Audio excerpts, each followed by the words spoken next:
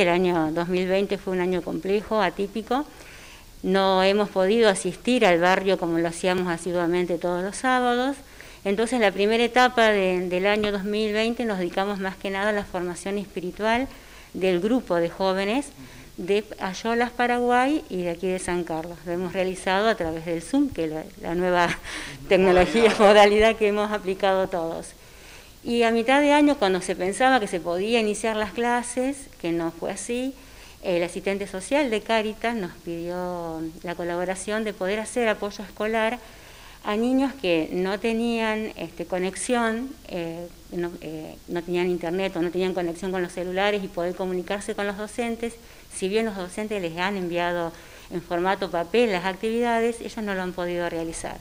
Entonces a partir de julio comenzamos a ir a los domicilios de varias familias a realizar las actividades que le enviaban los docentes.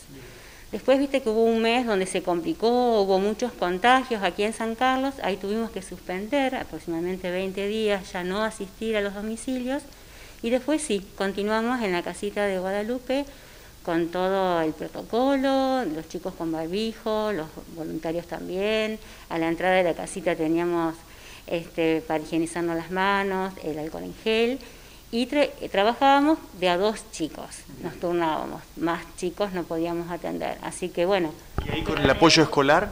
Y ahí realizamos el apoyo escolar con las actividades que nos enviaban los docentes, en formato papel, después hacían las actividades, sacábamos la foto, le enviábamos al docente, así el docente podía realizar una valoración de lo que habían realizado. Eran chicos que desde el principio de año no habían hecho ninguna actividad y hemos tratado, no llegamos a nivelarlos, pero sí eh, avanzar para que el docente pueda evaluar. Daniela, ¿cuántos son las personas que trabajan en la Fundación Espínola Solidaria? ¿Cuántos son los chicos, los adolescentes, los, adultos? Y jóvenes tenemos alrededor de entre 12 y 14. Eh, todo depende también, todos estudian, trabajan y bueno, trabajamos nosotros de acuerdo al horario de cada uno. Eh, también este año tuvimos la posibilidad que una de las voluntarias está haciendo un curso de mm, peluquería. Y bueno, con su profesora y sus compañeras, un, día de la semana fueron a la casita y bueno, le han realizado cortes de, cabello a los chicos, así que bueno, tratamos de colaborar en lo que podemos en este año tan, tan particular. Y estamos hablando de que asisten a qué cantidad de chicos, aproximadamente. Bueno, en este apoyo escolar estuvimos asistiendo alrededor de 12 chicos de diferentes familias de San Carlos, no eran exclusivos del barrio Guadalupe porque hay realidades en toda la ciudad, no solamente en el barrio, donde hay chicos que viven solamente con la abuela o con el papá, o son muchos chicos y bueno, la virtualidad les era imposible, entonces ahí colaboramos con los directivos de las escuelas, obviamente. Me imagino el, que, la familia agradecida y el docente también, porque eh, hay, hay, chicos que necesitan un poquitito más de esfuerzo o un poquitito más de atención y allí está entonces Espínola Solidaria. Y la necesidad, bueno, porque nuestro objetivo es la educación. ¿eh? La fundación nuestra, si bien asistimos en lo que necesiten, pero fundamentalmente es la educación. Y este año realmente pudimos colaborar mucho en eso.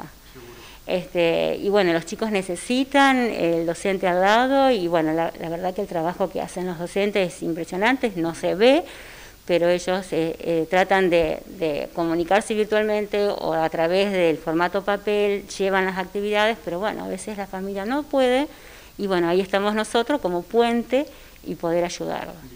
¿Y este año con qué perspectivas? Digo, ¿se seguirá por el mismo camino? Porque si bien aún no está definido eh, la presencialidad o si va a ser mixto el sistema entre este, herramientas informáticas y la presencialidad, el objetivo es seguir apuntalando desde ese lugar que lo viene haciendo la Fundación. Sí, sí, sí, porque estos chicos, bueno, hay que continuar, eh, ellos está, hay una diferencia marcada con el resto de los compañeros porque no han llegado a realizar todas las actividades, entonces, bueno, vamos a intentar este año, a partir ya ahora de febrero, mediados de febrero, iniciar, tengo que ver la cantidad de jóvenes que eh, tengan la posibilidad este año, porque como te decía, ellos también estudian y trabajan.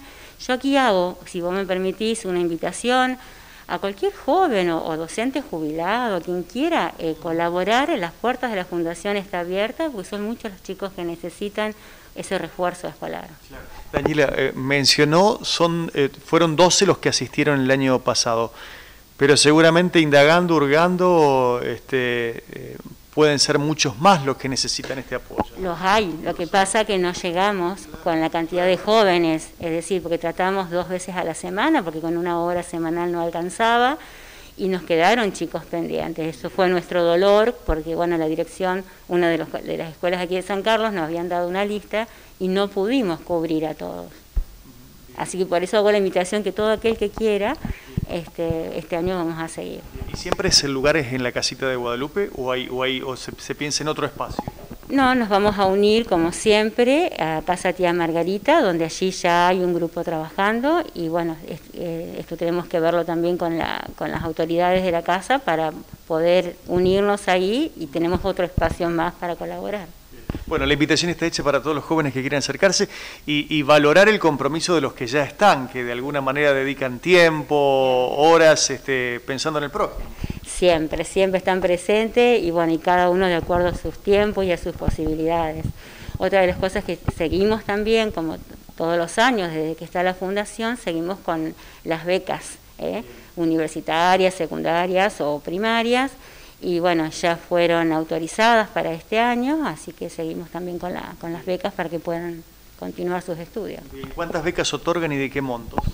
Mira, el año pasado teníamos cinco, este año tenemos dos, y los montos oscilan entre los seis mil pesos más o menos por, por mes. Para cada chico. Para cada chico. Estamos hablando de chicos de la escuela secundaria y, terciaria. En este, en este momento tenemos chicos de nivel universitario, donde yo presento todo un proyecto a la Fundación a España. Ellos ahí evalúan y después nos, nos autorizan y nos envían el dinero y está todo bancarizado. ¿Y tienen solicitudes de nuevas becas, de nuevos pedidos? Este año no. Este año no hemos tenido, este, pero bueno, también se debe un poco a que hay muchos jóvenes que están este, complicados con las carreras, con esto de la virtualidad, entonces hay también mucha inseguridad. Pero bueno, este año no, no nos han pedido, continuamos con los que ya teníamos.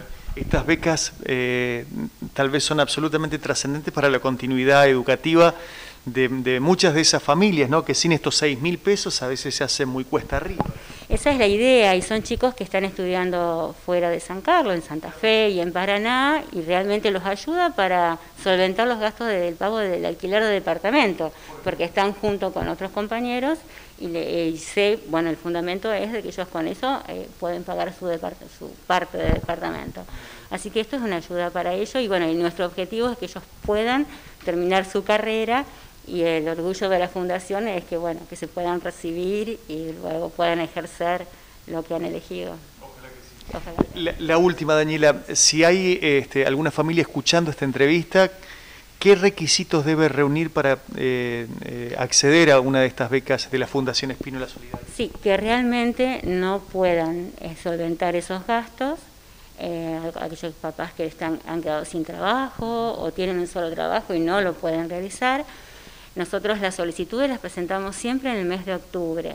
En diciembre nos dan la aprobación y febrero marzo el dinero llega a la Argentina y de allí nosotros lo depositamos en la mutual de Club Atlético Argentino.